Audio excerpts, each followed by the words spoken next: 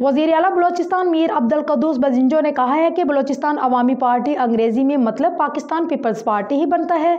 2018 और 21 में हुकूमती तब्दीलियाँ खालिस्तान अरकान असम्बली के ज़रिए आई। वज़ीर अला बलोचिस्तान मीर अब्दुल कदूस बजिंजो ने कहा है कि बलोचिस्तान अवामी पार्टी का अंग्रेज़ी में मतलब पाकिस्तान पीपल्स पार्टी ही बनता है।